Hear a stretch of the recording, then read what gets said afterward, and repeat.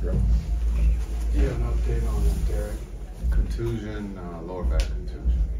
It looked like he was having trouble putting weight on his leg. Is that cut just because of his back or? Oh, yeah, I, that's probably what happened. I didn't see the fall, so um, yeah, I would say that that's probably why he was struggling to walk. Jason, a game like this, what more do you learn about Kyrie, his leadership, and just how clutch he is down the stretch? Yeah, I think when you talk about um, just the calmness, uh, you know, we played three really good quarters of basketball, and there in the fourth, we just you came out and missed our first eleven.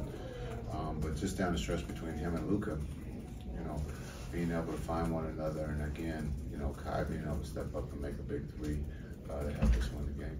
How did you think Richaun played when Elijah got hurt? Yeah, we talked about that in the locker room. Um, you know, I thought he played great for us on both ends, offensively and defensively. And uh, again, um, you know, we were going with him uh, instead of DP tonight, and I thought he responded in a positive way. He helped. He really helped us win this game tonight. Tell us about that steal you got on LeBron's pass. That yeah, that was a, a, heck of a tip, um, and to come up with the steal, um, and then you know just understand he gave us great uh, looks on the offensive end, being able to screen uh, to, get, to help the uh, ball handler get layups. And then I thought his defense was really good. I, I thought at the toughness that there was a lot of carryover from uh, our practice yesterday. You won the game, which is great, but do you leave here just the way the fourth quarter went down for your team? A little, a little upset about that? No, no. Why would you be upset? You won. uh, shit. Like, that the game's over. Now we move on to get ready uh, for Thanksgiving tomorrow, and uh, again have practice on Friday. There's no one upset. That's a great game against a very talented team. Jason, how have you seen the chemistry between Luka and Kyrie grow from last season to this season? Uh, the, well, the, the, biggest thing is just time. The more time you get to spend with someone, you get to know them. And uh, last year with the trade, um, the train's moving, everybody's moving, everyone's trying to, you know, uh, get to know each other. But I think this summer, um, also preseason, um, we, we, were abroad uh, for a couple weeks uh, for, for training camp. And so um, just understanding the time together, and you can see that, uh, and they're both very talented, and so they're not afraid of the moment. I thought Luka's uh, demeanor and his uh, talk in the lock uh, in the um, on the bench when the game became close, he was smiling. He enjoys those moments, and, and also Kai is too. And so when you have two of them out there, um, you know you have the opportunity to go to either one. And I thought again. Um, and we put the rest that those two can coexist, um, and they're playing at a high level for us right now. In that vein, down the stretch, uh, this makes you guys seven or one in clutch games. You've got both of those guys in. How much how much different is that for a coach to know that really have an either-or situation? You're going to trust those two guys to make the right play. Yeah, when you have quarterbacks uh, like you know Luka and Kai, the trust is high. Um, not taking the time out to play it out. Um, understand we, I believe we're going to get a great look. Uh, it's up to a lot of times it's not going to be Luka or Kai that's going to, you know, a lot of times they're going to get double teamed, but Luka gets double teamed makes a heck of a pass to Kai. Kai does what he does. He, he's been no panic catches and, and shoots the ball and uh, makes a big shot for us to win. Um, Coach, uh, up until Lively, you know, got her 10 rebounds.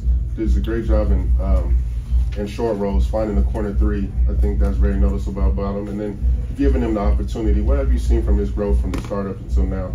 Yeah, I think uh, one, his voice, he's getting comfortable, um, and then we're asking him to play make. Um, you know, understanding when you have uh, guys like Luka and Kai, they're going to get double teamed, and a lot of times the first pass is to Lively, and his ability, I think, um, to pass and his basketball IQ is extremely high, and so uh, he's done an incredible job for us uh, here early in the season. Um, but again, I think he also gave us some offensive rebounds here tonight that kept our offense going. And uh, again, rim running, he puts a lot of pressure on the defense and, and he causes a problem.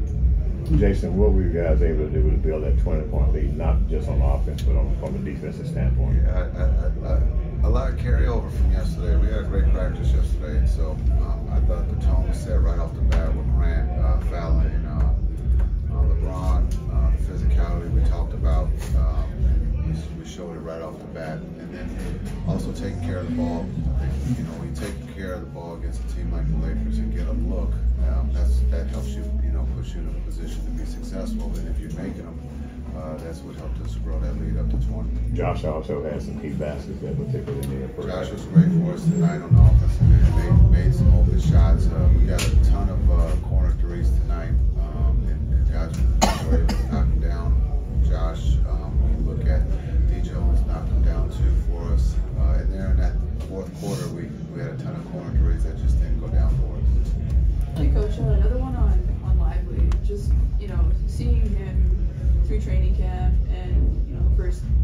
stretch of the season here, is there anything that's shown you why it is that he's able to process all this information that's coming at him so quickly and apply it?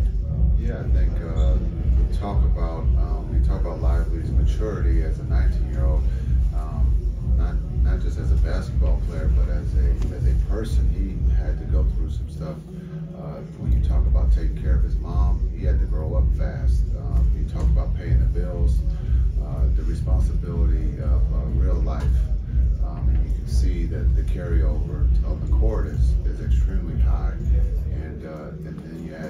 add the care factor. He wants to win. It's all about winning. And uh, that, that's who he is. And uh, we're lucky to have him, you know, part of the Mavs family. Jason, uh, LeBron's pretty good at breaking hearts, so he had a great fourth quarter leading them back, and then he gets that last shot. You had a good look. What were you thinking with it, the ball in his hands with a chance to, to tie it? Uh, he's going to make it. You know, that's what he does. Um, but we got lucky. He came up short. Coach,